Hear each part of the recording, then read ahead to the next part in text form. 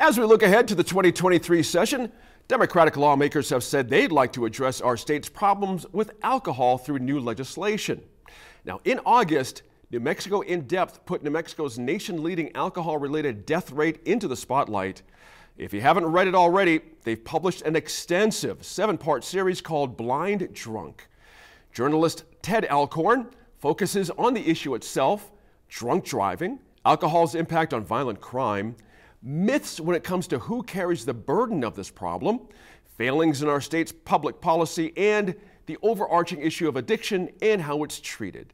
We brought in Mr. Alcorn and a panel of experts to talk through the various factors. Now, in this excerpt from that roundtable uh, conversation, we explain the scope of the problem and potential solutions, including possible policy changes from the legislature as early as next year.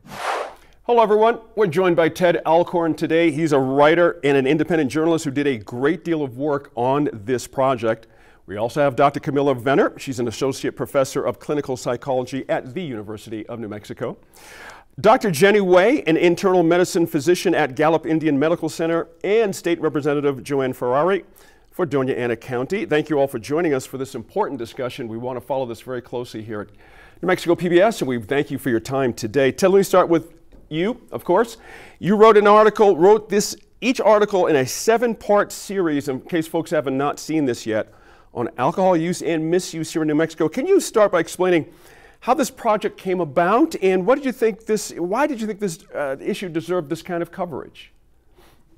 Well, about a year ago, New Mexico in Depth asked me to look into a story on alcohol. They had some suspicions that the mortality we were seeing for COVID was connected to alcohol use in the state.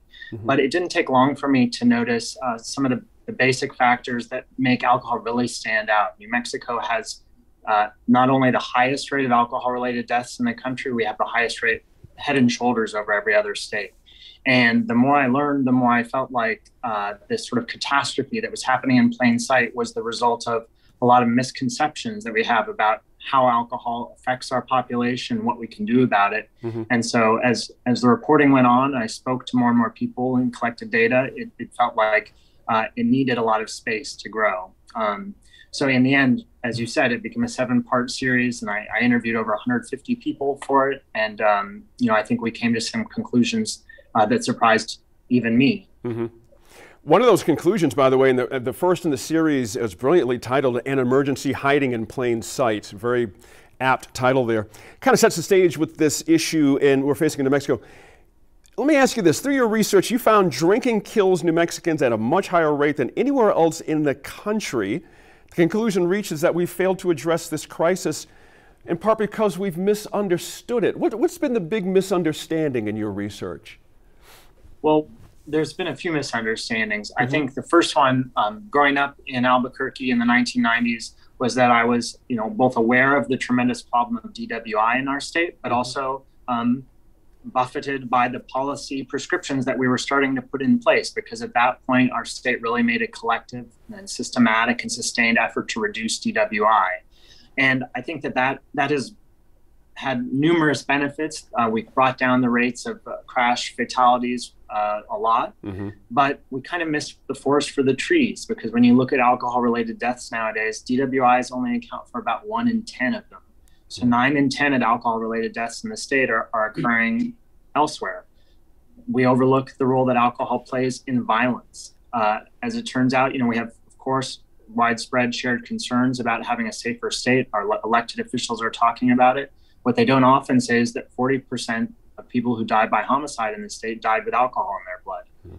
as, as, did 30% of people who died by suicide. So, so, alcohol is the most common intoxicant in violence in New Mexico. Mm. Those are the kind of the kind of blind spots I think that have kept us from addressing this issue head on. Good points there.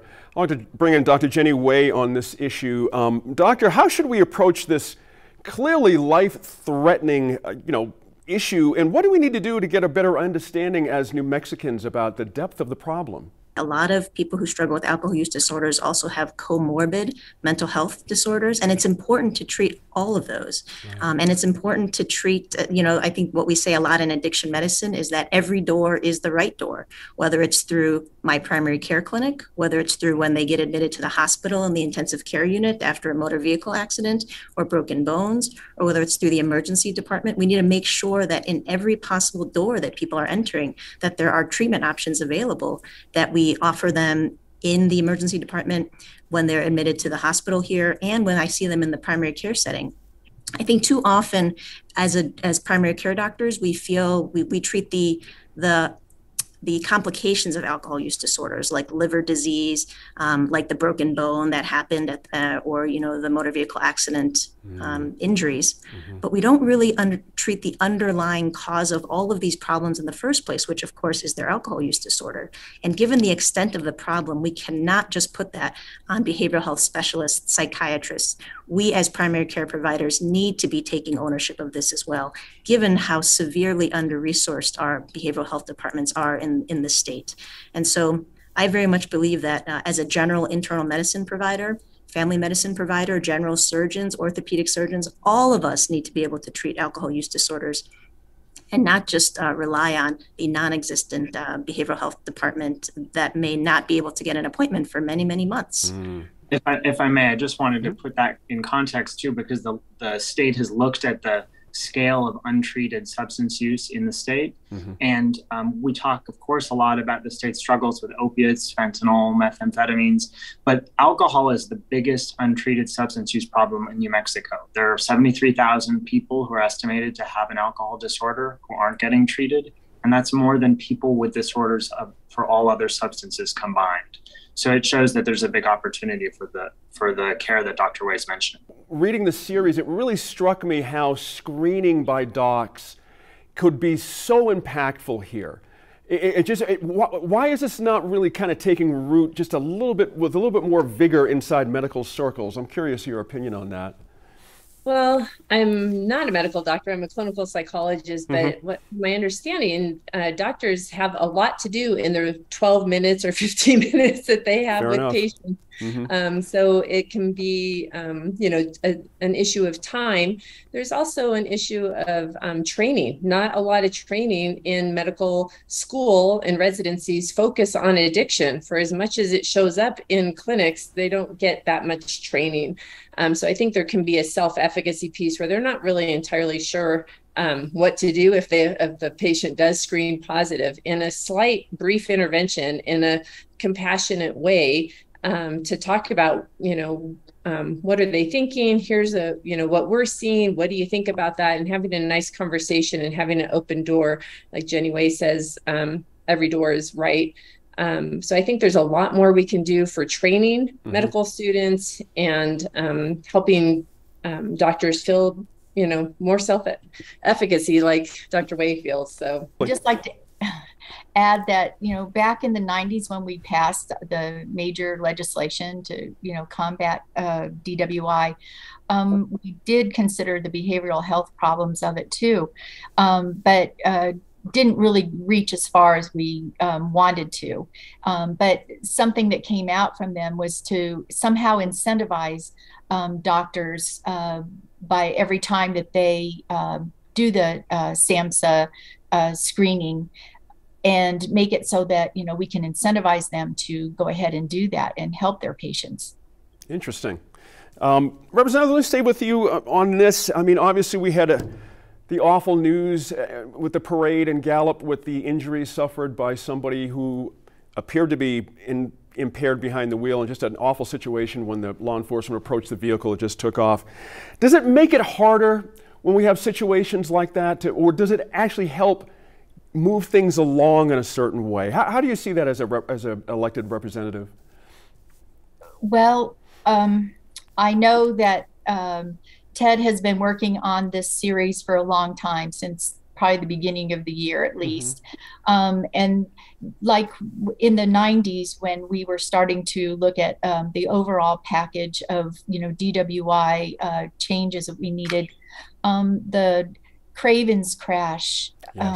Tragedy happened, and um, just as we were getting ready to go to the legislature, uh, Nadine Milford and her husband Bob became advocates for the change that we needed. Mm-hmm. So um, I hope it brings the attention that we need to motivate um, the what we you know should start like the governor immediately setting up a task force with legislators and uh, and all of the experts such as Dr. Wei and um, um, Ms. Bummer, and mm-hmm. um, we need to make sure that we use scientific, evidence-based uh, approaches again to revitalize the not just DWI, the enforcement and helping the victims and the and preventing the consequences, but overall for alcohol-related deaths.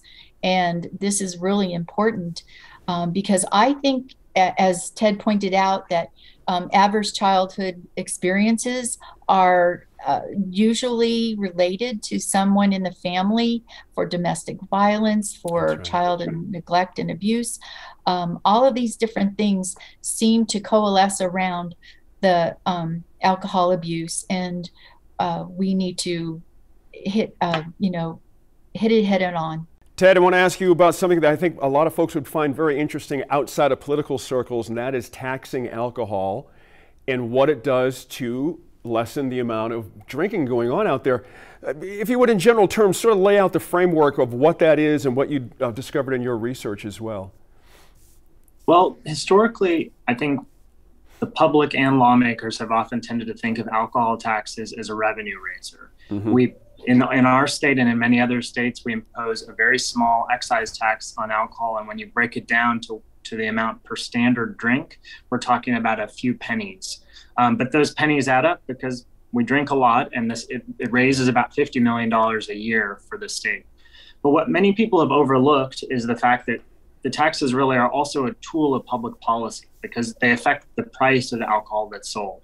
And um, it's pretty clear that when the state imposes a tax on these items, the distributors or wholesalers pass that tax on to consumers. And so it artificially makes the substance a little bit more expensive. And this is important because the basic economic principles of supply and demand say that when you raise taxes a little bit, you reduce demand some.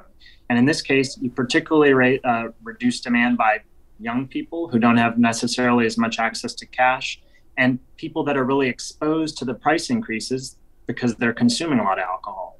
And so uh, the research has gone on over many years and in many states. And on my read of it all, it seemed pretty definitive that when you raise alcohol taxes, there's a reduction in consumption and that you see a lot of reductions in the harms that alcohol can have. You see reductions in DWI, you see reductions in, in cirrhosis, some of the chronic conditions associated with alcohol. Um, so, you know, we know that this policy measure is effective. We see uh, lawmakers really neglecting it, though. It, over the last 30 years, not only have we left alcohol taxes at their same rate, we've allowed inflation to eat away at them because we, we tax alcohol. This is kind of subtle, but we tax alcohol by the volume that is sold, not by its price. Mm-hmm. So that means a $6 pack of Budweiser 20 years ago has the same tax on it as a $12 pack of Budweiser has today. So uh, all told, you know, we're kind of turning our back on one of the most important measures to addressing excessive alcohol use. Um, and that's not only true in New Mexico, that's true across the country. Mm-hmm. Representative, Absolutely. please, I'd love to hear your thoughts on that. Yeah. Um, that's all true, and uh, especially to prevent underage drinking, um, because if the younger you are when you start to drink, the more likely you are to become uh, an a lifelong abuser of alcohol and see those effects. In 2017, um, we had a group that was trying to um, address that and raise the tax. I think it was a quarter a drink. Mm-hmm.